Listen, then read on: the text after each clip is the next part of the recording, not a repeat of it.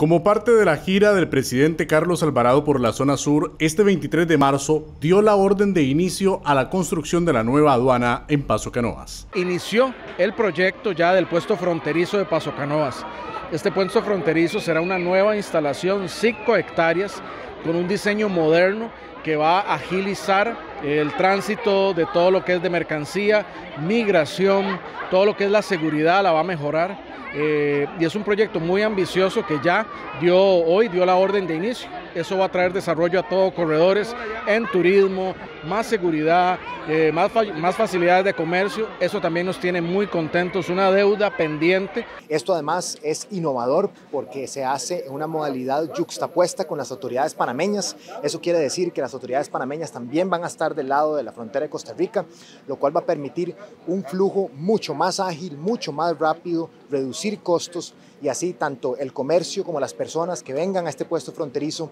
van a tener pues una mucha mejor experiencia al usuario. Esto todo se hace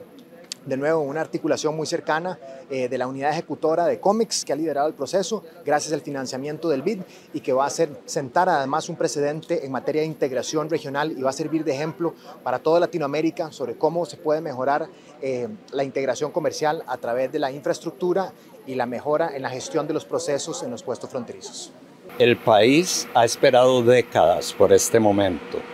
y nosotros los últimos 10 años como país hemos trabajado muy fuerte desde 2012, donde se empezó a negociar el empréstito, hasta el día de hoy en que estamos logrando iniciar la primera construcción. La primera construcción de algo que va a representar un cambio en los puestos fronterizos que nos va a hacer dar un paso adelante para el desarrollo y para el comercio. Bueno, muy contento de, estar acá en esta gira donde justamente se ven parte de las iniciativas que hemos impulsado. Eh, anteriormente estuvimos en en el inicio de las obras de la armonización de los puestos fronterizos, eso fue un convenio que firmó la Asamblea, que aprobó la Asamblea Legislativa, dispuso los recursos y yo particularmente estaba muy interesado porque va a generar no solamente mejor competitividad para el país y evidentemente para este cantón. Esto es fundamental, esto va a dar un salto cualitativo y un ordenamiento de la zona fronteriza. Hemos venido trabajando a la mano con el Ministerio de Comercio Exterior en lo que se llama Programa de Integración Fronteriza. Es una infraestructura asombrosa que nos eleva, digamos, a un nivel de primer mundo en cuanto a lo que van a ser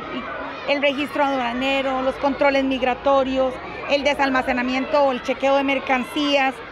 Sin embargo, tenemos grandes desafíos en todo lo que corresponde con la milla fronteriza y no le estamos dejando de lado. Estamos dejando un enorme planteamiento, un documento que se lo entregaremos a las autoridades que contempla la visión integral del desarrollo